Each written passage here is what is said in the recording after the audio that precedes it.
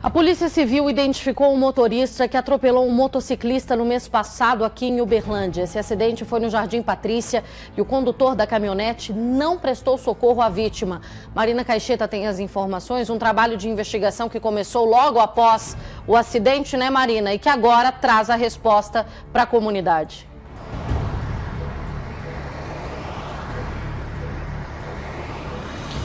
Pois é, Lu, esse acidente aconteceu no finalzinho do ano, ali no dia 30 de dezembro de 2022, né?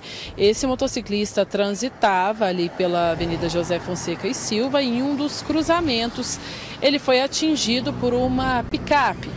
E aí ele ficou caído no chão, o motorista do outro veículo não parou para prestar socorro, ele fugiu do local e aí poucos dias depois a Polícia Civil instaurou um inquérito para identificar e também para prender esse homem, viu Luciana? E aí o que, que aconteceu?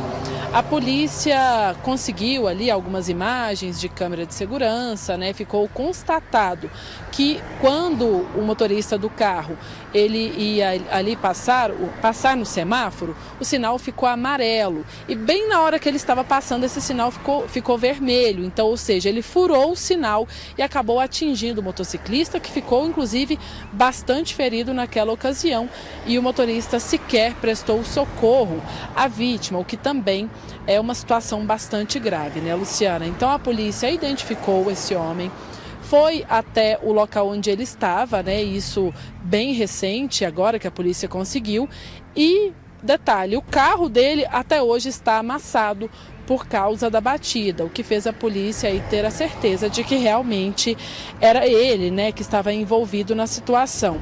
E aí ele ele disse que não parou, por quê? Porque tinha algumas pessoas ali no local, ele ficou com medo de represália e não parou. Mas ele podia depois ter se entregado, podia ter ido a alguma autoridade policial e ter contado tudo o que aconteceu. Podia ter dito ali que errou, que cometeu uma infração de trânsito e acabou é, atropelando ali, acabou batendo nessa motocicleta, mas não foi o que ele fez. Ficou caladinho na dele só que a polícia foi muito mais esperta e conseguiu encontrá-lo, viu, Luciana?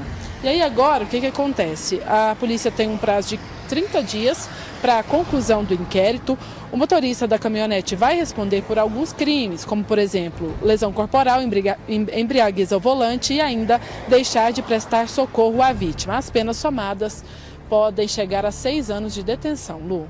Muito obrigada, Marina, pelas informações. Parabéns ao trabalho da Polícia Civil aí, com investigação comandada pelo delegado Fábio Russo, tem exercido também um ótimo trabalho aqui na cidade de Uberlândia. E agora a resposta aí que todo mundo esperava para esse acidente, que você acompanhou os detalhes aqui na tela do Cidade. Motorista identificado, situação agora que passa a ser alvo de um procedimento da Polícia Civil.